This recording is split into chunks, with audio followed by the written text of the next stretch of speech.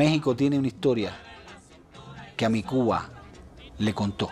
Le cuento, ayer vi el mar deshecho en olas. Atiéndame, caramba. Llegaron maestros, llegaron las cuatro joyas, la misma Alicia, este, Josefina Méndez, este, Aurora Bosch, todas llegaron a bailar en los escenarios de México. Wilfredo Lam, sin lugar a duda, ese es el pintor que, que para mí tiene un significado mayor. Porque tu obra se ocupa en explicar un mundo nuevo. Precisamente este conjunto fue fundado por un coreógrafo mexicano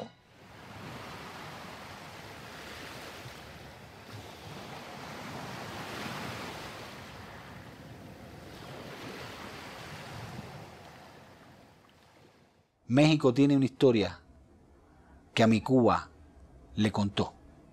Y mi Cuba le contó al Gran México una historia. Los que surgimos en la izquierda mexicana como activistas, militantes, a lo largo de los años 60, tenemos una deuda de sangre con dos cosas, que en el fondo son una, que es con la presencia de los libros cubanos en México.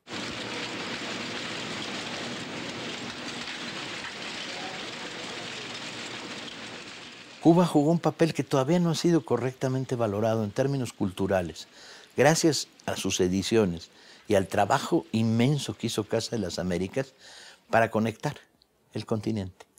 Nuestra generación era bolivariana y era guevarista, sin duda, pero también era latinoamericanista por razones literarias. Porque ahí están todos los ingredientes.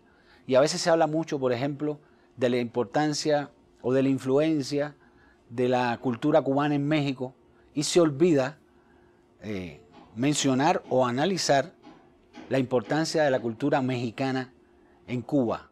Y como la Casa de las Américas era para nosotros una institución eh, de lo más sólido, nos parecía importantísimo, hay que considerar que en esa época en México hay una promoción cultural que va creciendo, y para no irnos muy lejos, pues es eh, el antecedente de la promoción cultural en México viene desde el siglo XIX, con Altamirano, la búsqueda del concepto de, nación. Nuestras discusiones, nuestros alegatos, nuestras reflexiones nos hacían ver que una institución cultural tan sólida eh, como Casa de las Américas justamente era eh, un punto de encuentro para el desarrollo de una sociedad, de una sociedad nueva, de una sociedad distinta. Los premios de casa eran esperados. Ah, los libros circulaban, conocimos autores como Cisneros que nunca hubiéramos conocido, porque el aislamiento entre Argentina y México y todo lo que queda en medio siempre ha sido enorme. Y Cuba jugó un papel de latinoamericanización de la literatura, de una potencia inmensa. Preví que en esta América nuestra iba a haber muchos gobiernos que iban a romper con lo que se avecinaba, con la revolución que Fidel quería hacer. Entonces pensé que aquí podíamos hacer una gran casa de amistad, una gran casa, lo que ha resultado ser y ha salido con los escritores, con los artistas de todo nuestro continente. Yo llevo una casa en mi canción, vida y razón. Yo llevo una casa en mi canción, casa de amor. Yo llevo una casa, corazón, en mi canción.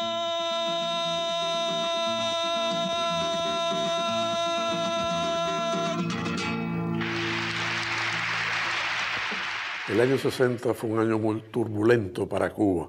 La revolución se profundizó y cambió de signos. Es una revolución socialista. Eso provocó una cantidad enorme de, de problemas. Y Octavio fue una ayuda extraordinaria para mí. Y siempre lo recordé con gran cariño. Desgraciadamente, Octavio dejó de simpatizar con la revolución cubana, se volvió hostil a la revolución cubana, pero nosotros no nos volvimos hostiles a Octavio Paz.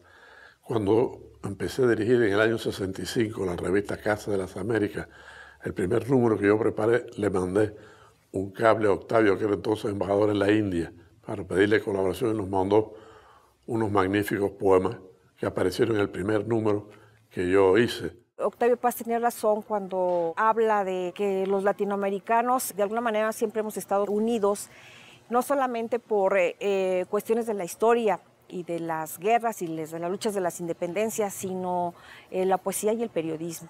Antes de, que Julio Scherer fuera eh, director de Excelsior, fue un espléndido reportero y fue a Cuba al triunfo de la revolución a entrevistar a Fidel Castro. Y lo consiguió de una manera bastante insólita. Yo recuerdo que había hecho bastantes, ya llevaba varios, tres, cuatro días intentando la entrevista y no podía, o no le contestaban, o sea. Y finalmente creo que en el Palacio de la Revolución, en algún momento circunstancial y azaroso, creo que entra Scherer a, un, espacio y se encuentra Fidel, se encuentran solos ahí en ese momento. Y entonces Scherer se sorprende y le dice, comandante, lo he estado buscando. Tengo 20 solicitudes de entrevista con usted y no me han contestado. Entonces Fidel le dijo, eh, ¿quién eres y de dónde vienes? Dijo, bueno, soy Julio Scherer del periódico Excelsior. Y le dijo Fidel Castro, ah, de manera que tú quieres una entrevista para un diario conservador de México. Y entonces él le dijo, eso es precisamente lo que yo quiero, comandante, una entrevista con usted, su voz en un diario conservador de México. Entonces Castro le dijo, no me parece una mala razón. Y le dio la entrevista. La arquitectura se volvió prácticamente una novela, una biografía novelada. Cuando yo hice esa extraordinaria amistad con Fernando Salinas, eh, hice varios viajes a Cuba y cuando fui a presentar el número cero de Archipiélago en Casa de las Américas en el 92, fue un jueves. El sábado, Fernando Salinas me invitó a conocer el Museo de Arte Moderno, el Museo de Arte, ¿no? de regreso en el Hotel Presidente, donde yo estaba, llegó otro amigo de México que trabajaba en turismo, también conocía y quería mucho a Fernando Salinas, me dijo, vamos a, proponerlo a él como arquitecto. Fernando Salinas había hecho la embajada de, Cuba en México, ¿no? el edificio importantísimo, la había hecho aquí en los años 70. ¿no? Yo le había dicho que había que hacer un libro de todo lo que él había publicado en América Latina. Y entonces hice un libro que se llama eh, Fernando Salinas, Diseño, Ambiente y Esperanza. Lo que salió fue una biografía novelada, la vida de Fernando Salinas, que es también la vida de lo que pasó en Cuba desde que él nace en 1930 hasta que muere en 92, ¿no? Con tantos palos que te dio la vida y aún sigues dándole a la vida sueños Eres un loco que jamás se cansa de abrir ventanas y sembrar luceros. Con tantos palos que te dio la noche, tanta crueldad y frío y tanto miedo, eres un loco de mirada triste que solo sabe amar con todo el pecho, fabricar papalotes y poemas y otras patrañas que se lleva el viento. Eres un simple hombre alucinado entre calles, talleres y recuerdos un simple hombre loco de esperanza que siente como nace un mundo nuevo, con tantos palos que te dio la vida y aún no te cansa de decir te quiero. Naturalmente conocimos en ese tiempo a Fayad Hamis, eh, el agregado cultural de la Embajada de Cuba en México. Cubano, sin duda ninguna, pero que al revés de como Heredia, Fayad Hamis nace en Zacatecas, en Ojo Caliente. Con él íbamos a molestarlo, a que el grupo de música le cantara las canciones que teníamos por ahí. Eh, alguien hacía con un poema de Fayad Hamis una canción. Eh, alguien más tenía canciones sobre Nicolás Guillén, eh, sobre otros autores. sabíamos de autores más jóvenes como Luis Rogelio Nogueras, el Huichi, etc. El intercambio era nutrido Creo que ese trabajo de agregado cultural de Fayad Hamis fue eh, de todas maneras eh, muy vinculatorio, muy cercano. Y otro de los autores que conocimos aquí, de los eh, autores cubanos que vinieron a vivir a México, es Lichi. Eliseo Alberto, él vino quizá por primera vez en un encuentro de americanistas que organizó Jaime Labastida, otro amigo mexicano, y a partir de ese encuentro, probablemente él venía y también venía Eliseo Diego en ese viaje. En el cementerio de Colón. Vine a verle, papá. Vine a verle, papá. Ya hacía mucho que deseaba visitarlo a solas. Le cuento, ayer vi el mar deshecho en olas. Atiéndame, caramba. No lo escucho. Usted duerme, claro, todo está oscuro. Debieran encender esas bombillas. Mire allá, dos fantasmas con sombrillas escalan juguetones por el muro. Ok, lo espero, duerma, sé qué cosa. Mejor le canto una canción de cuna. Es broma. Ah, y si despierta, no se ría. Al ver que en su tumba hay una rosa. Lo extraño es tarde ya. Salió la luna. Quería besarlo, ¿no? Era otro día. Eliseo es un hombre muy conocido, muy querido, muy respetado. Hay, hay un concepto elevadísimo de él como cubano. Yo creo que junto a Lezama, eh, junto a Cintio, Eliseo es un símbolo mayor de lo que es la cubanía, de lo que es la cubanidad. Eliseo es un símbolo mayor de lo que es ese sol del mundo moral, no poseyendo más entre cielo y tierra que mi memoria, que este tiempo decido hacer mi testamento. Es este. Les dejo el tiempo, todo el tiempo. Habíamos querido que en una de esas semanas de autor viniera alguien muy querida por nosotros, muy admirada, que es Elenita Poniatowska. Ella vino a una feria del libro, nos autorizó a que publicáramos Tinísima, publicamos también Querido Diego, te abraza Quiela. Aquí han venido muchos cubanos y muchos mexicanos han ido a Cuba. Yo recuerdo haber entrevistado a Nicolás Guillén hace años. También entrevisté a ese gran escritor que es el de el autor de, de El recurso del método, que es Alejo Carpentier, que era o, el método del recurso. Me acuerdo que hizo una cosa con, con Descartes, ¿no? Con el título de una, bueno, de lo que decía, de la razón de los franceses. Es muy curioso observar que ya en el año 1918, en un manifiesto que no tiene nada de absurdo, Tristán Sara estampaba frases como esta. La obra de arte no debe ser la belleza en sí misma, puesto que está muerta. Una obra de arte no es nunca bella por decreto objetivamente. A Nicolás Guillén lo quise mucho, era muy amigo de un gran cuentista mexicano que se llamaba Juan de la Cabada. No tengo registro de que haya una fuerte interinfluencia en la creación literaria en estos últimos 50 años. Tengo más bien la sensación de que forman parte de un tronco común.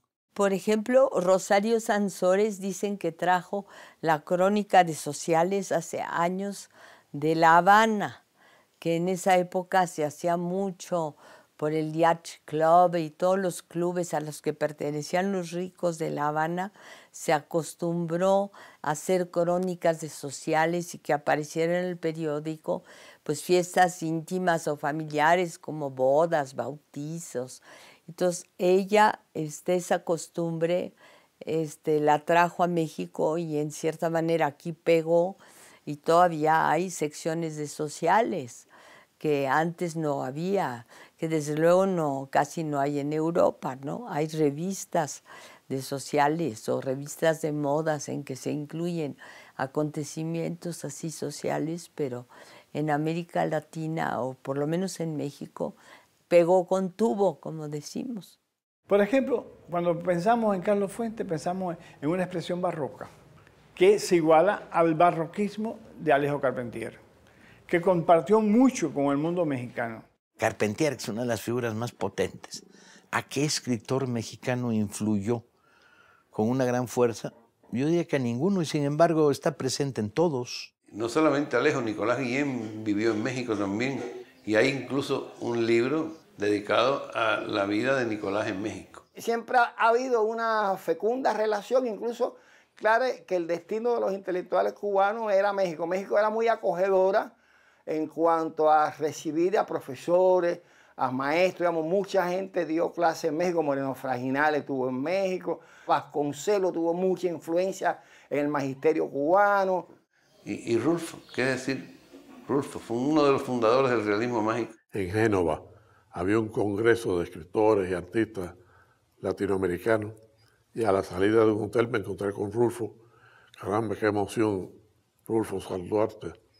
Y Rulfo me dijo, no es cierto que los viajes se ilustran, los viajes se estriñen. Entonces recuerdo esa primera frase de Rulfo que me dijo con su ingenio habitual. Tenía un poema que me hizo un poeta cubano que vivió y murió en México, Rubén Bernaldo, que hace muchos años me hizo un poema en que yo involucré la música, que es otra de las formas creadas por mí. México te traigo un son como una ofrenda de palmas, palmares en mis maniguas, maniguas en mi nostalgia, palmeras de postal criollas, finas, verticales, altas. En 2003, la Feria Internacional del Libro de Guadalajara, el país invitado en la feria fue Cuba.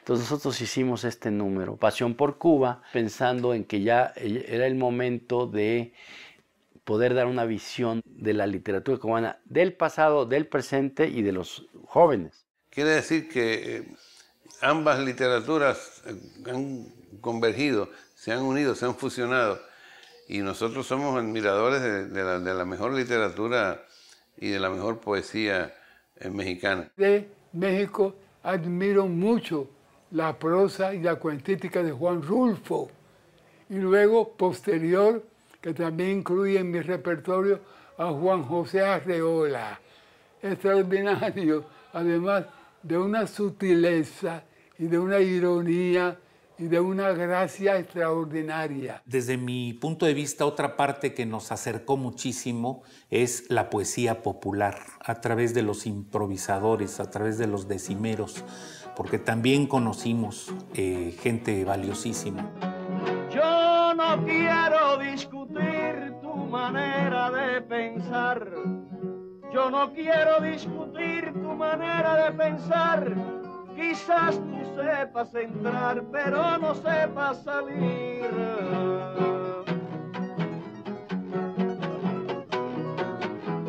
No sé si podrás subir a lo más alto del arte.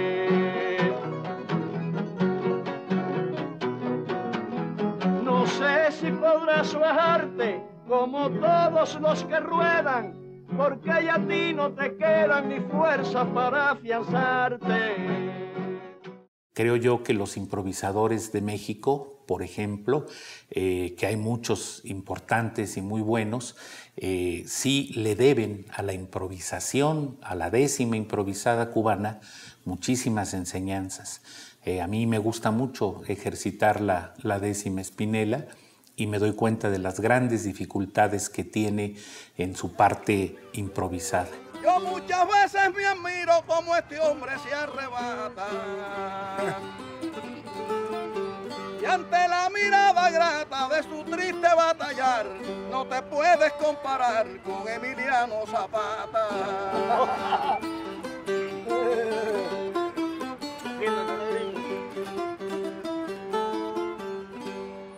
soy esa maravilla digna que tú mencionaste, pero tú te comparaste un día con Pancho Villa. El tema de la poesía oral improvisada, del verso improvisado, el repentismo, como se le llama eh, en Cuba. Y creo que de alguna manera también es, está siendo muy reconocido aquí en México Alindo Naborí como sonetista, como hacedor de sonetos. El tiempo cae sobre nosotros, pero no se siente caer mientras la vida va ruidosa, embriagada, enloquecida, como el andante que no ve el sendero. El tiempo cae sobre nosotros, pero mientras hay una meta prometida no se siente el gotear de su caída. ni consulta relojes el viajero. Arrobados de sueños y paisajes, creemos infinito nuestro viaje, pero hay, el viaje es demasiado breve. En vísperas del fin viene la calma y se siente caer cernida nieve el tiempo, gota a gota, sobre el alma.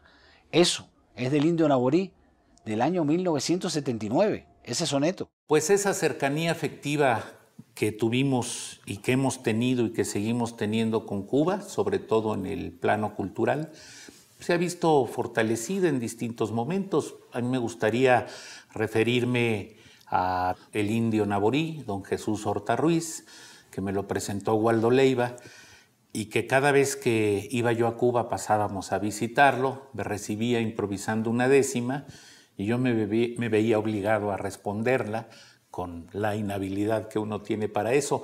A veces mientras llegábamos yo pensaba qué versos podía ir juntando por si él me preguntaba tal o cual cosa, pero eh, me parece que una figura como eh, el indio naborí Jesús Horta Ruiz es indispensable en la cultura cubana.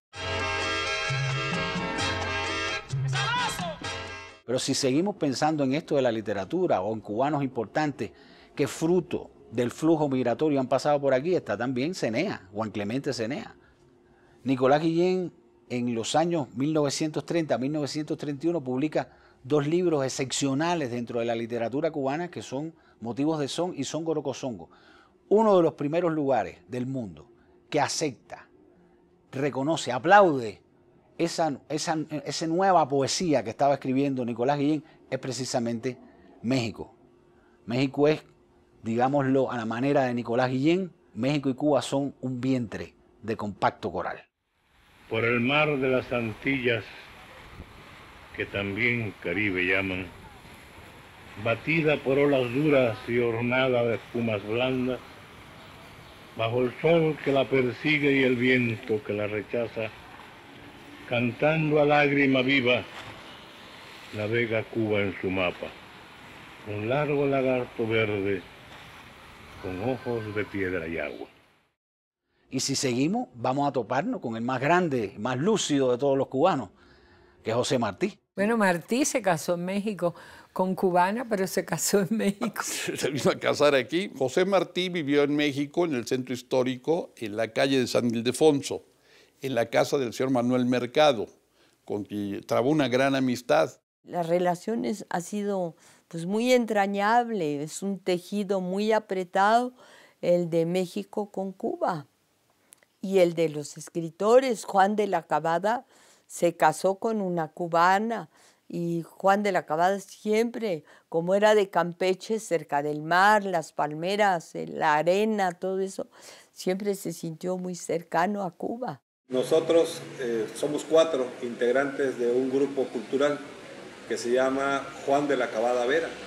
Y ese grupo a la vez representa al Centro de Estudios Martianos de Cuba, que se encarga de hacer la difusión cultural de todo el acervo que dejó José Martí en la poesía. Por ejemplo, tenemos poesía para niños de José Martí, el pensamiento político de José Martí, la vida y obra social de José Martí.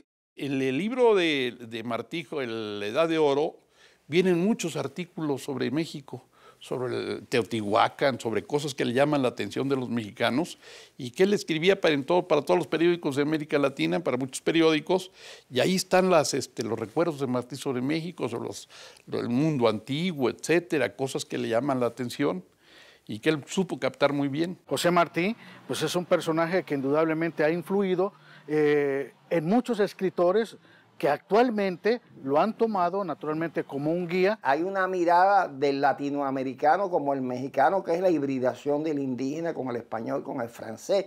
Digamos, eso también tuvo su repercusión aquí, su repercusión en el mundo literario fuertemente. Digamos, e, esa, esa perspectiva era más, más mexicana que cubana. ¿no? Cuando en un encuentro internacional en Frankfurt, en Barcelona, en, la Feria del Libro de Torino, en Italia, ah, te encuentras una bola hablando animadamente y moviendo mucho las manos, ahí encontrarás a cubanos y mexicanos juntos y encontrarás un, boliviano que es, más tímido y no mueve tanto las manos, pero está pegadito a la bola, y dos o tres nicaragüenses, y cuatro o cinco argentinos, ah, esta afinidad está generacionalmente y es potente. Para mí un libro que, que significó mucho fue no solamente el Juan Pérez Olote, de Ricardo Poza, que, que, que, es el modelo que yo seguí, claro, después lo, lo redimensioné en la biografía de un cimarrón.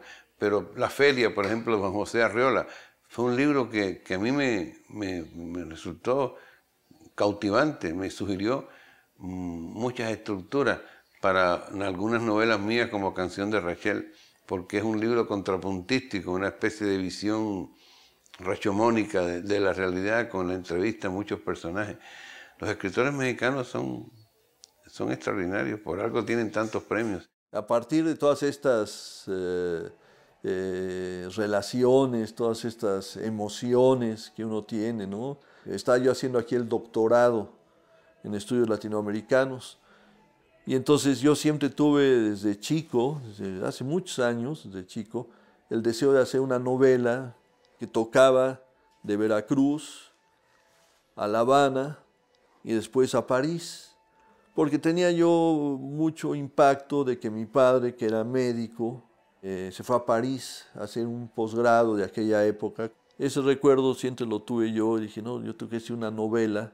Me interesaba mucho porque además yo desde hace mucho he estudiado mucho los temas de los años 30, la guerra civil española, ¿no? Eh, bueno, Machado en, en eh, Cuba, ¿no? la revolución del 33. Los años 30 son un huracán. Y ya después de que salió la tesis ya le di forma.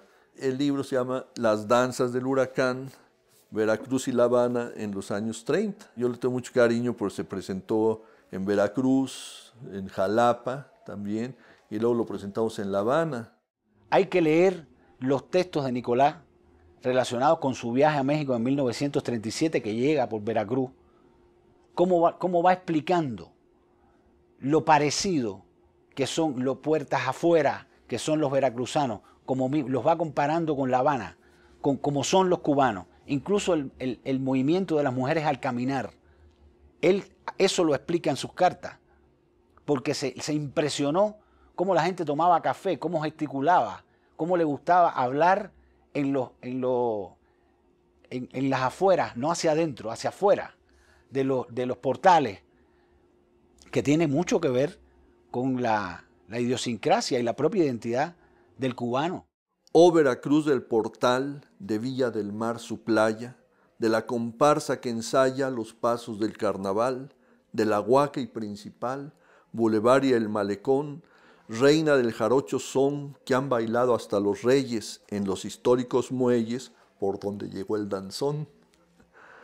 Tus hijos de ti se ufanan, por ti con amor protestan, con orgullo manifiestan el amor que les emana, en su entrega se desgrana el cariño que contiene a la historia y bien se aviene por ti, Veracruz hermoso, al encuentro del glorioso pueblo que a ti te sostiene.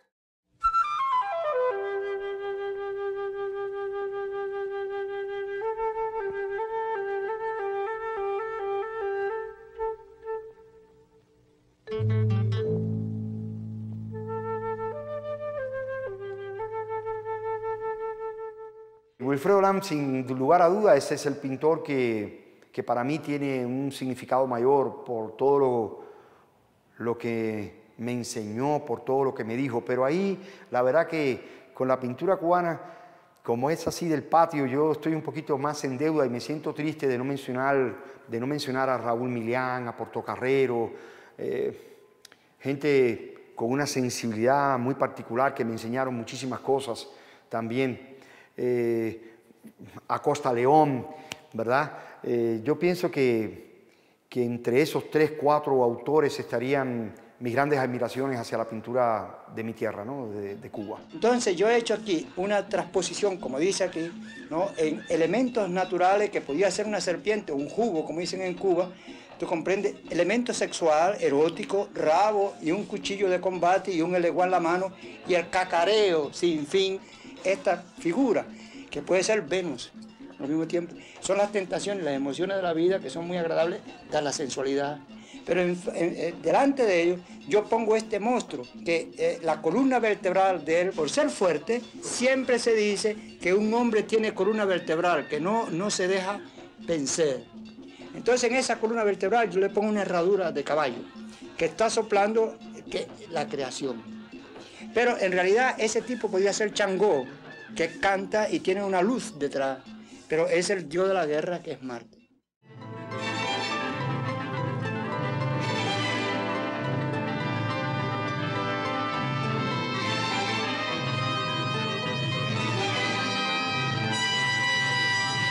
La corriente del muralismo mexicano que influyó mucho aquí en, grandes pintores cubanos como Mariano Rodríguez, como René Portocarrero y, y otros muchos.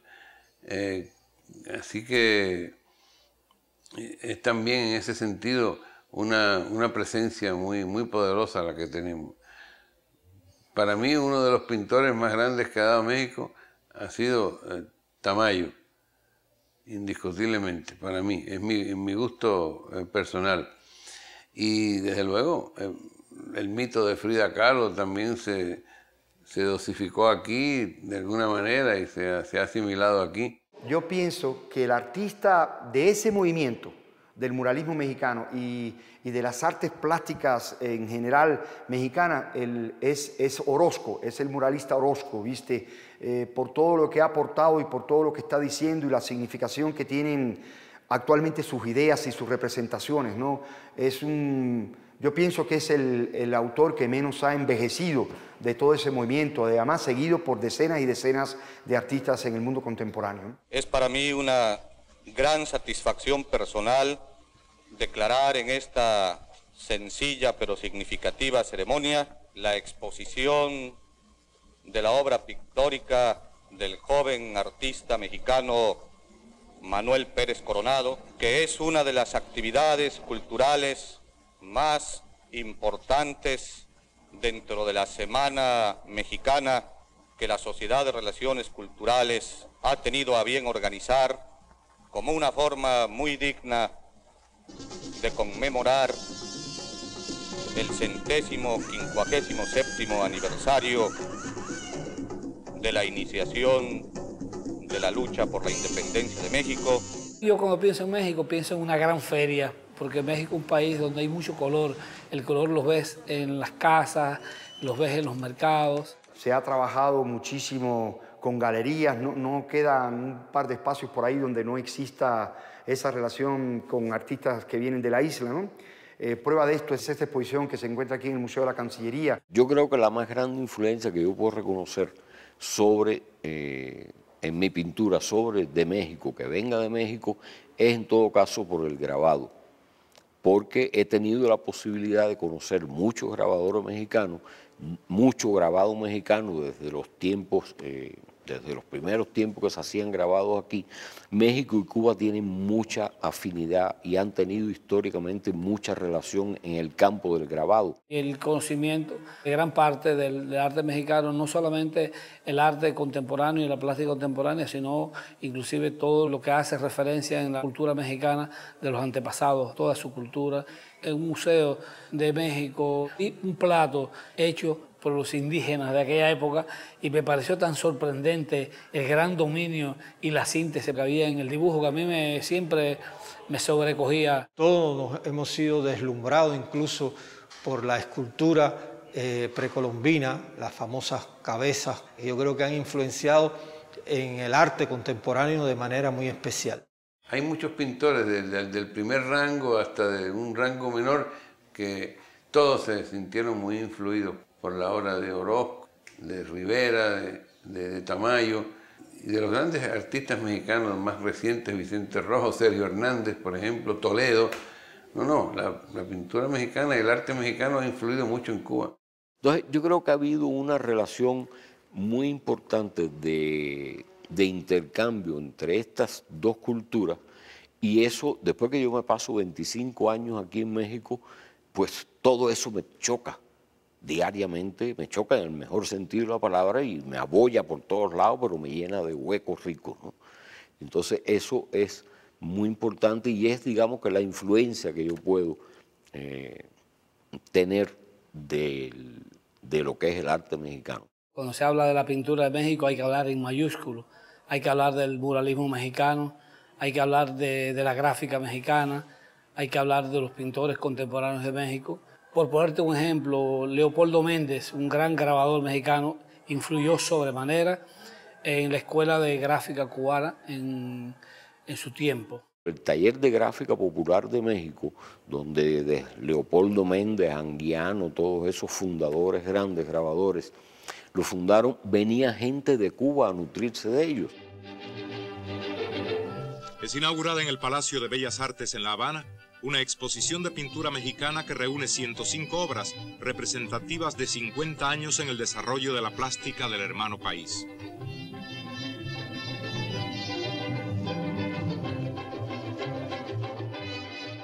México es probablemente el país latinoamericano que más encuentro de escultores, eh, estos simposios que se organizan, eh, realiza. Y en ocasiones por estos simposios o ocasiones sencillamente por encargos individuales, en obra urbana creo que a lo mejor tengo más obra en México que en, que en Cuba.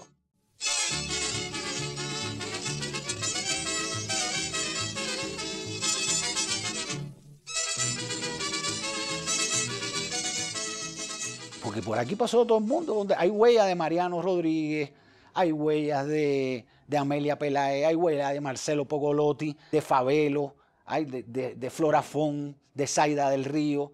Dentro de la plástica cubana, todos tienen una huella aquí en México.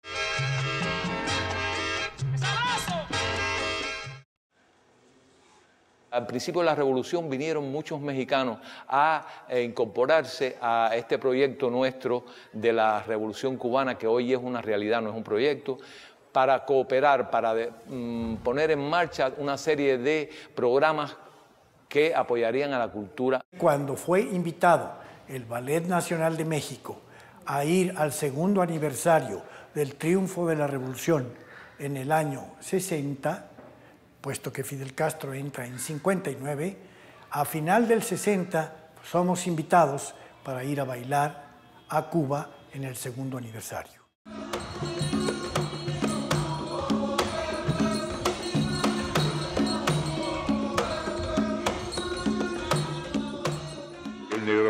Siempre ha tenido primero la protección de su cultura porque es el pasaporte para regresar a sus orígenes, a sus orichas, a su mundo cultural. Eso está en la sangre del cubano.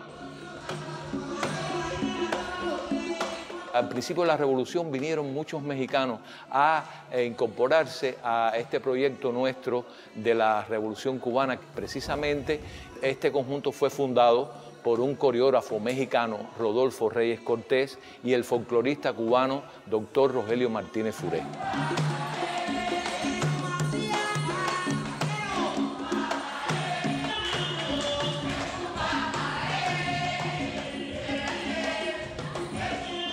Y me fui a todos los toques de santos que pude, y a todos los toques de Congo, y a los toques Iyesha, y a los toques carabalís. Y allí aprendí su danza, su música y sus expresiones. Esto por un problema absolutamente afectivo de ver la verdad en todo lo que ellos hacían y cómo lo hacían.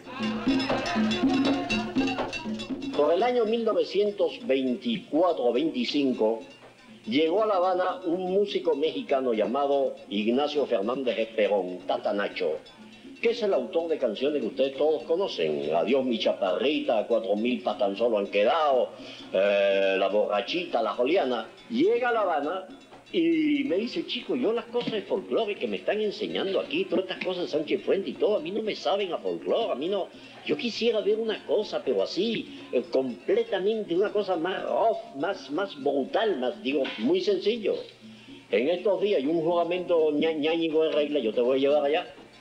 Lo llevé y efectivamente asistimos a un juramento ñáñigo estupendo con bailes colectivos, una fiesta que duró todo el día, hicieron toda, toda la ceremonia de la pantomima de Sicaneco, en fin, todo aquello.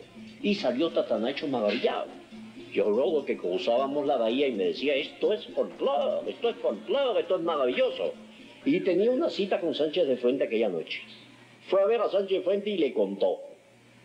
Sánchez Fuente se enfureció conmigo Y al día siguiente publicó en El Mundo una carta abierta a mi amigo Tatanacho, que se titulaba, hablando de aquella gente que, eh, que, que, valorizaban todo un folclore, que era una, una tara que nos había legado, legado el coloniaje y que era una vergüenza y que eso debía enseñarse a los extranjeros.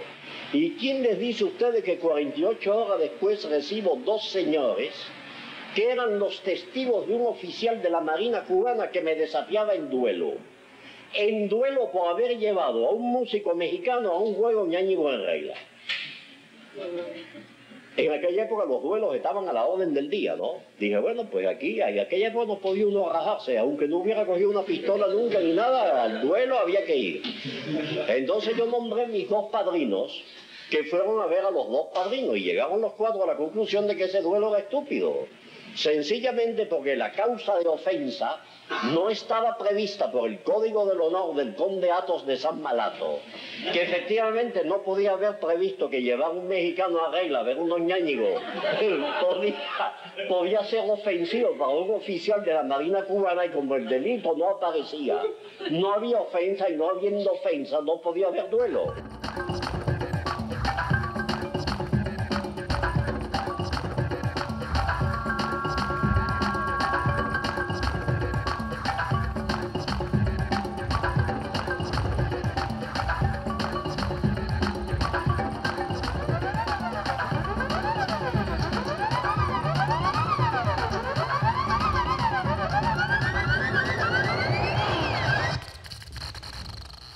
Se convierte en un espacio de cubanía y de cubanidad para el cubano que vive aquí. Por eso hay tantos artistas en México viviendo y cuando uno lo ve en su conjunto, hay actores, actrices, hay escritores, escritoras, pero hay también bailarines, coreógrafos, hay de todo, de todo. Específicamente hablando de, danza clásica, de ballet clásico, el, digamos el intercambio o, la relación que han tenido este, los dos pueblos, para, decirlo de alguna manera, ha sido muy grande. Vinieron maestros y bailarines de Cuba que no solo se integraban eh, a las filas de la Compañía Nacional de Danza para como intérpretes, sino también llegaron maestros, llegaron las cuatro joyas, la misma Alicia, este, Josefina Méndez, este, Aurora Bosch, todas llegaron a bailar en los escenarios de México con la Compañía Nacional de Danza, pero también llegaban a impartir clases, a instruir a los maestros, no solo en cuestiones metodológicas, sino también en cuestiones de logística, de la operatividad que lleva una compañía de este, de este formato, ¿no?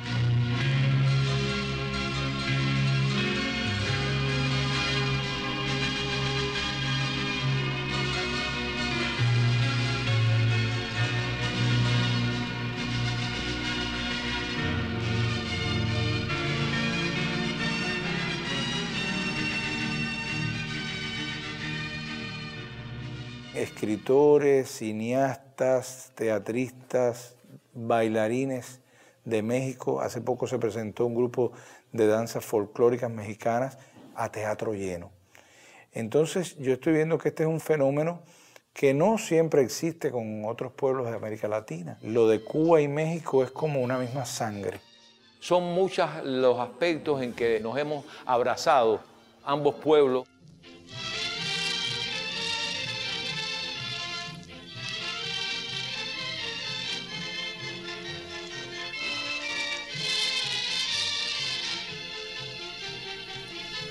procedentes del puerto de Veracruz arriban a nuestra patria los transbordadores mexicanos Puerto Vallarta y Coromuel tras 47 horas de travesía marítima. A bordo de los mismos, 350 integrantes de la Embajada Artística Cultural del Caribe reciben la cálida bienvenida del pueblo cubano.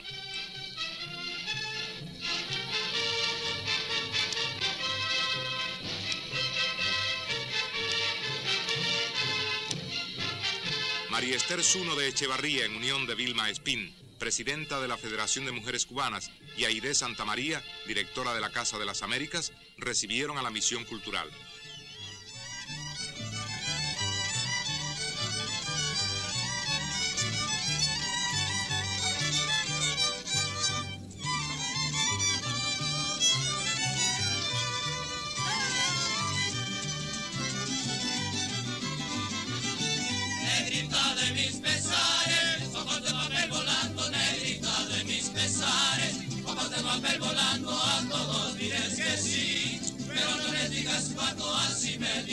Dijiste a mí, por eso vivo penando.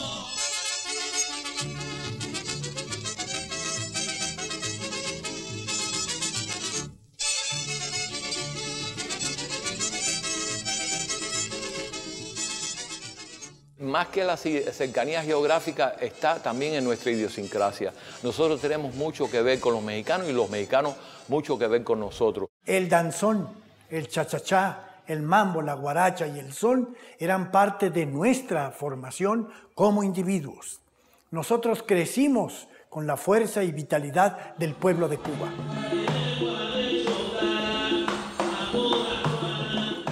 Aquí he encontrado un huequito donde estar con los míos y con mi trabajo y me siento muy agradecido por eso. Y la mayoría de nosotros, cuando hablamos de México, sale a reducir estos vínculos profundos. Es una realidad que a uno como cubano lo, lo llena de orgullo. A mí eso me llena de orgullo, sentir esa afinidad con este país eh, que uno no termina de descubrir, no lo termina de descubrir. Toda esa cultura milenaria, yo pienso que México es uno de los grandes emblemas de América Latina, o sea, es depositaria de siglos precolombinos, incluso de cultura que afortunadamente en muchos casos pues se, se, se conservan. Y, y yo, bueno, para México, todo mi amor y todo mi corazón.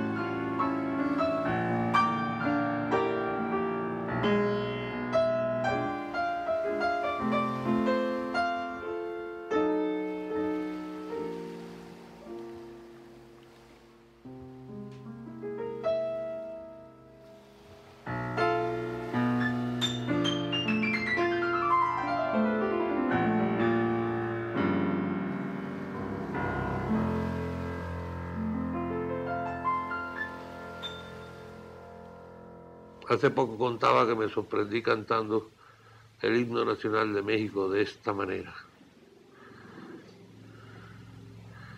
Mexicanos al grito de guerra, que la patria os contempla orgullosa.